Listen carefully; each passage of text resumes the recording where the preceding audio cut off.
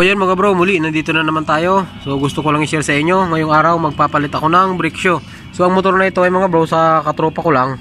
Magpapapalit lang siya. So Smash Suzuki. So naka-brake shoe naman to. So sabi niya wala na daw preno. At tiningnan ko naman yung limit niya, wear limit niya. So lagpas na nga. So ang ibig sabihin, pudpud na yung brake shoe niya kaya hindi na siya kumakapit. So umpisa na natin.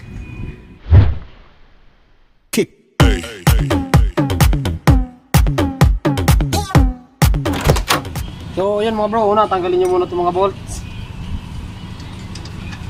Yan. Washer.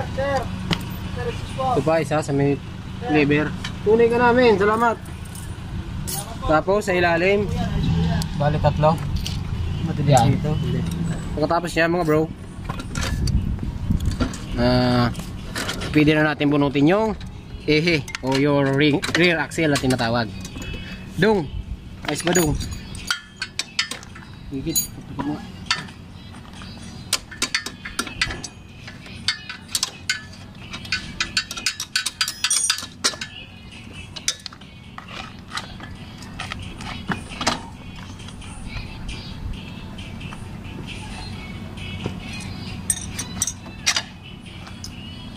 Ayun, mga dre. Hmm. Ano ito na dyan naman bro. So yun, mukha nakita mo bro. So food food na. So sa pagtatanggal nito, so angat ko lang to. Tunay na yan. Yan. So ang dumi na. So linisan muna natin. Kit, nga palinis kit. Food food na. Food food na daw. Pati-pat. Kailangan may grasahan to eh. So yun. No, iyak na oh. Ito. Kailangan magrasahan sana to eh.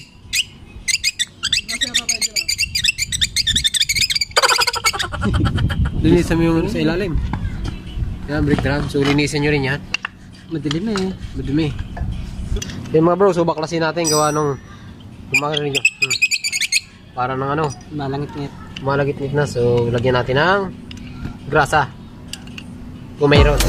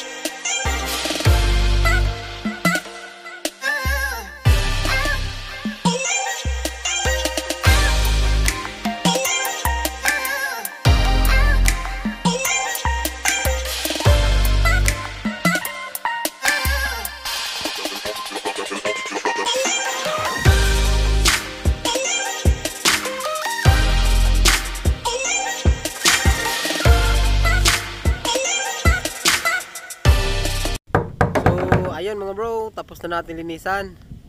Pagkatapos na natin linisan yung lever. Mahalaga kasi mga bro, nililis, nililinisan natin tong pati yung kaloob-looban niya kasi minsan ito yung nag stack up. So, minsan yung preno natin, pag once na piniga mo, hindi na siya bumabalik. So, ang kadahilanan po, maluwag na ito ay masyado nang madudumi itong ano mo, itong mga lever. Tsaka yung nalalagyan kasi ng mga putik yan mga bro. Kaya ngayon, so binaklas na natin lahat. At tapos na natin linisan. Ngayon mga bro, sa pagbabalik ng brake shoe, sa paglalagay ng bago, madali lang. So, bukahin nyo lang, gamitan nyo ng puwersa. Yung mga iba, mayroong technique dito, pero ang ginagawa ko dito, pinipwersa ko na lang. Kaya naman mga bro. So, diskarte, kanya-kanyang diskarte. Pero kung ganito, kung kaya nyo na, kaya nyo naman lakas nyo, so, bukahin nyo na lang. Yan, ganyan. Yan, mga bro. So, okay na mga bro. Pagkatapos nito, so i-try natin kung bumubuka. Yan. So, ibig sabihin, gumagana. So, yan mga bro. Ganun lang yung pagpapalit ng bagong brake shoe. So, sa nagtatanong nga pala kung magkano to. So, 120 ang bili namin dito, sabi ni Kit. Kasi siya, Yung mga bro, so nakabit na natin. So di na namin naipakita yung video kasi hindi ako yung nagkabit. So si Kit yung nagbalik ng brake show kasi sa kanya tong motor. Sabi ko sa kanya kanina, siya na magbalik para sa susunod pag once na magpapalit siya. So kayang-kaya niya na. Hindi pala nag-video. Yan. So na-install na mga bro. So itatry natin ngayon kung malakas nga talaga yung pagkakabit niya. Sa pagpabalik mga bro, madali lang naman. Tandaan nyo lang kung ano yung mga kinalas nyo. Same process. Parang i-reverse nyo lang siya. Kung anong kinakalas nyo, so tatandaan nyo kung paano nyo ginawa. So sa pagbabalik, ganun din. Kaya madali lang mga bro magpalit nito. Mga ganitong mga simple sa motor, so kayang-kaya na natin to pag-aralan.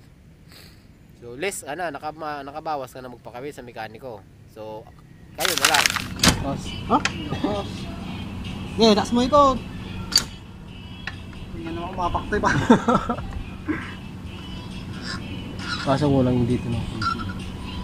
Sige sige. Huwag mo makapakin niya. So ayun mga bro, nakakabit na natin. So try natin kung malakas. Tunay na. Yan. So ayun mga bro, so ganun lang yung pagkakabit ng brake show. So sana meron kayong natutunan.